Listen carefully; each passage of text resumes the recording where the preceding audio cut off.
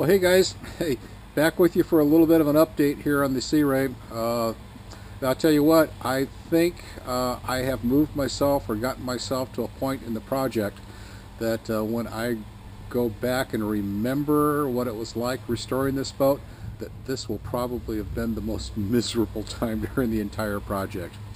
Uh, we're, uh, I, I'm in the, the process of grinding out uh, the old adhesive and uh, the, uh, uh, the fiberglass and stuff that was left over uh, when I pulled the stringers out, getting it down to the hull. So just a lot of grinding going on right now.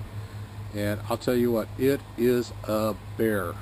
It's, it's the most miserable thing I think I've ever done. But you know, it's got, it's, it's got to get done. Uh, so, yeah, real quick, I'll show, show you the equipment that I'm using uh, because when when we're uh, when I'm grinding inside there, uh, there is just uh, you know a ton of dust, fiberglass dust. Uh, day one was uh, was pretty bad, and you know it, it got better. to to keep myself from you know getting fiberglass powder everywhere on me, I wound up with a with a turtleneck, gloves, and, and, and a respirator, and you know, it's, only like 95 degrees here, and I'm in the boat, you know, with a fan blowing, but it's 95 degrees, and I've got a turtleneck on grinding the boat. My wife thinks I'm absolutely nuts. But uh, anyway, I'll show you what we started off with. Uh, started off with, you know, just your stand, standard respirator. Uh, you know, got this at fiberglass shop, and you know that worked okay.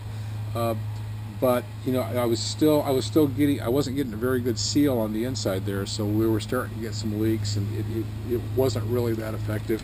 Uh, and then you know using a pair of goggles uh, you know the standard uh, Home Depot goggles uh, these are the non-ventilated ones uh, but uh, even, even with these I was still getting some leaks and stuff and then the sweat and it, it just wasn't working out good. So finally finally uh, this this is this is what we wound up uh, uh, using. All right, this is a 3M full face respirator. Uh, tell you what, this is the bomb. Um, if you're going to be working a project, if you're going to be doing any kind of grinding in fiberglass like that, I highly recommend it. Uh, it it's it's more expensive, but I'll tell you what, it will it will definitely it makes a huge huge difference uh, being able to work for an extended period of time. Uh, one of the problems that I did have with it though was that with this on, there's no airflow, so I was I was getting a lot of sweat, you know, coming down off my brow, and you know, and then when sweat starts trickling down your face, it gets itchy, and you can't get your hand in there to scratch it or any that. So I, to to minimize the sweat, uh, this is what I was using. It's a, it's called a skull cap. Uh, you know, I wear one of these uh, under my helmet when I'm flying the helicopter, and uh, so I just put this on and kept it down nice and low and it's nice and thin and the uh, uh, the respirator was able to get a good seal around it. Made a huge difference. Didn't have sweat dripping down on my eyes.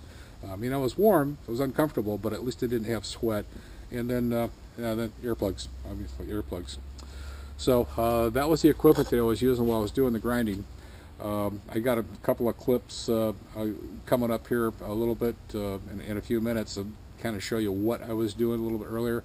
But I'll tell you what, it is a mess. It's, it's an absolute mess. There is like there's this fine talcum powder type dust that gets over everything.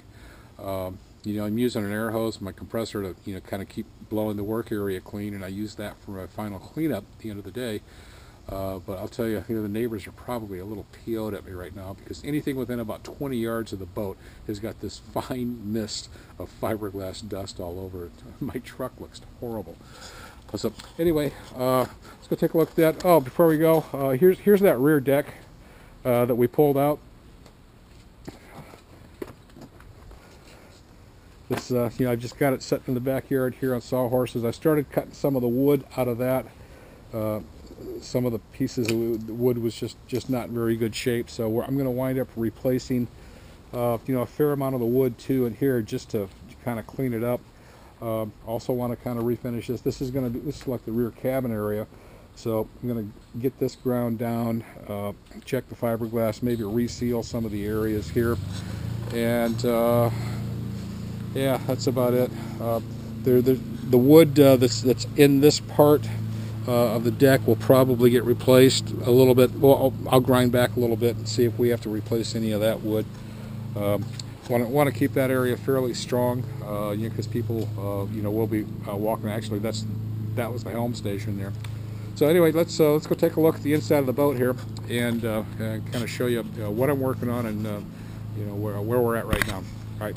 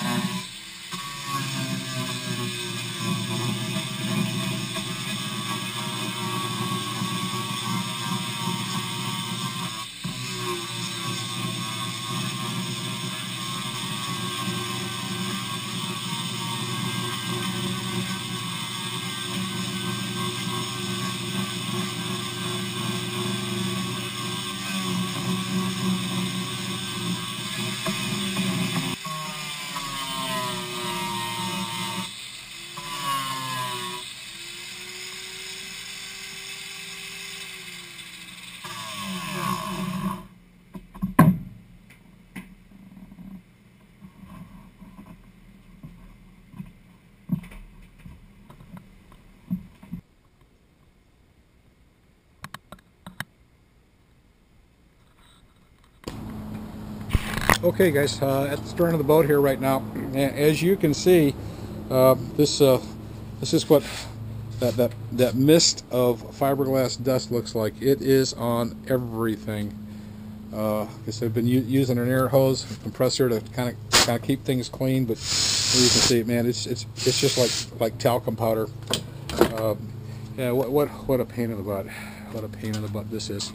But you know, it's it's coming along pretty good. So I'm hoping, you know, maybe another, uh, you know, day and a half of grinding, and uh, we'll, we'll, get get the rest of it all out. All right, so uh, this is what this is what it looks like after. Yeah, I've gone through and done my cleanup uh, after grinding for today, or for, and you can see here's here, here, here's what we're doing. Let's see how this is nice and clean. This is where the uh, the old deck was right here, the residual wood. And this this is the uh, uh, the adhesive that they used. It's uh, almost like a uh, it's a real thick adhesive, uh, you know, industrial type adhesive. And then what they do is they glassed this in, and it looked like they used some some fairly thick mat and some resin, and they glassed in the edges. So I'm taking it all right back down, you know, to the hull itself. Uh, this is where some of the, one of the stringers ran, and we, have kind of ground ground that off. One thing, I shouldn't be walking in here in sandals. Uh, silly me. Uh, so with that dust on here, the, the, the hull is actually pretty slippery. So anyway, uh, yeah, just getting it ground down, getting it cleaned, uh, getting ready to accept the new stringers and the um, um, and the deck. Uh, it's going to wind up going in here. Um, what else can I show you guys right now? Oh. All right, this is the this is this is what I did here today, and I kind of ground this area out here. Uh, we've got it. We're starting to get this cleaned up. Uh, I don't think I'm going to grind the entire hull, uh, but I will probably do uh, the keel area here because I'm finding an awful lot of voids uh, in the in this mat that they laid over the hull uh, before they put the foam in. I mean, you see here, here's the original hull, and then you can see here's the thickness of this mat that they laid in here. And this mat was, uh, it's very, very coarse. Uh, and I'm, i found a number of areas, uh, like uh, up in this, especially up in the bow here, where it was, it was like really thick, but the, uh, it wasn't impregnated with resin. It, it was coming apart uh, with a grinder, almost like a you know a doormat. You know the, the brown fibrous uh, doormats that you buy at the hardware store. It kind of looked like that material. Um, but you know we're getting all that stuff ground out. Uh, as far as the V-berth area up here, uh, I think what I've decided to do is uh, we're going to. Um, you see here on this construction, the foam didn't even go all the way up in that compartment. So rather than tear this thing completely out, uh, I, I, think I'm just going to rebuild it. I'm going to you know, probably get all the foam out of there uh, and then uh, get some new wood up in there.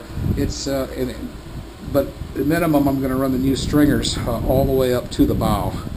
Uh, where, where these, where I cut these out, they'll go all the way up to the bow. And that that's about the only real structural component that I've got to do there. all the stuff on the V-berth here is non-structural. It's mostly going to just be seating and for storage. Uh, this is where I'm probably going to put the uh, the porta potty. I, I, don't think I'm going to go put a full lav back in the boat like they had before. But I think this is the, the, this bow area right up here, this little cutout. I think is where the, porta potty is going. So anyway, uh, yeah, we're going to just go ahead and uh, repair, rebuild this a little bit, and then glass this all in, and then refoam those compartments. I, I think it'll be plenty strong. But the big thing right now is just getting all the grinding done. Uh, there's just, say, I've got about another day and a half of grinding. Here's what uh, here's what it looked like. Um, here, here, here's some of that adhesive uh, that they used, and man, I'm telling you, they just globbed it everywhere. You were very sloppy with their application. Uh, it's it's really hard. It's uh, it's almost like a like a PL uh, construction adhesive. But uh, so anyway, the, all all this is getting ground out. Uh, this was the old midship bilge area that was that was there. I haven't decided yet if I'm going to replace the bilge or you know put a new bilge in it. Uh, if I put uh, if I put a shower in the cabin, then I probably will do this bilge or a bilge somewhere. But uh, yeah, this is uh, this is what it looked like. Know, went down as far as we could with the sawzall, getting those uh, stringers out of there, and um, so that that gets ground out. This gets uh, gets taken down to the hole, and then we're start all over again. So anyway, that's it from the Sea Ray right now. Uh, you know, it's uh, uh, it's not real exciting. It's really a mess, and uh, I'm not having a lot of fun doing this right now. But um, you know, I, I just got to keep telling myself that when when I'm done with it, it's gonna be it's gonna be right. It's gonna be uh, it's gonna be really nice. So uh, that's it from Poway uh, for right now. Um, this is Saturday. I've got got a couple more days. Uh, uh, I have something I got to do this evening, so I, I can't do any more work this afternoon. Uh, besides, it's too hot to work. I think I'm just going to get a beer and jump in the pool. Um, then uh, tomorrow, uh, tomorrow and Monday, I'll, I'll spend some time on it. Hopefully, I'll have all of this ground out uh, and, and ready for uh, uh, to start cutting wood uh, next time I come home on break. So anyway, guys, uh, like I said, that's it from Poway for right now. Uh, thanks for hanging out. Uh, thanks for watching, and uh, I'll, I'll update as the work progresses.